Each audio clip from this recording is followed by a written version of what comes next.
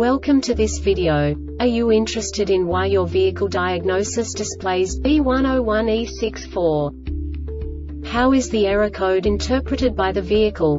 What does B101E64 mean, or how to correct this fault? Today we will find answers to these questions together.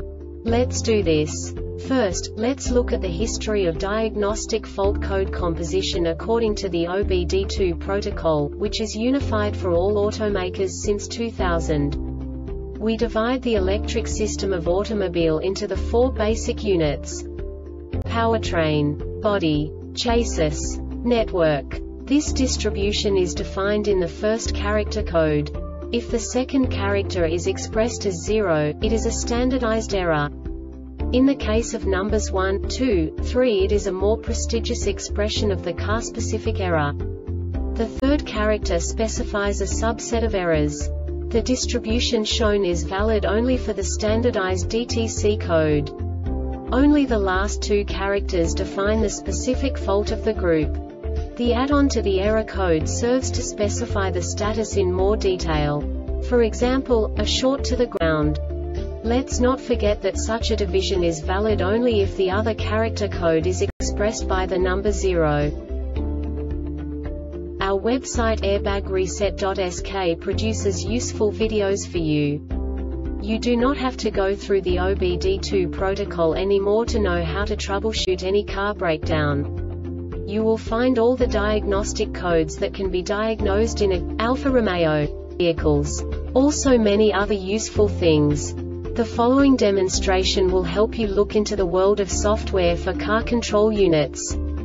You unbelievably can move the video a bit further. The error code is split into two bytes consisting of 16 bits. One bit is the basic unit that each computer works with. The bit has two logical states. 0, low level, 1, high level. By combining the first two bits, the basic character of the error code is expressed. The next two beats again determine the second character. The last beat styles of the first byte define the third character of the code. The second byte is composed of a combination of 8 bits. The first 4 bits determine the fourth character of the code. And the combination of the last 4 bits defines the fifth character. A single byte conceals 256 possible combinations. We now know in what way the diagnostic tool translates the received information into a more comprehensible format. The number itself does not make sense to us if we cannot assign information about it to what it actually expresses. So, what does the diagnostic trouble code B101E64 interpret specifically, Alfa Romeo car manufacturers? The basic definition is Rear wiper signal signal plausibility failure. And now this is a short description of this DTC code. When the body control module BCM detects the rear wiper switch is activated for greater than 30 seconds. This diagnostic error occurs most often in these cases.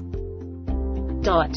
Signal plausibility failure This subtype is used for failures where the control module detects a single input parameter for plausibility. The Airbag Reset website aims to provide information in 52 languages. Thank you for your attention and stay tuned for the next video.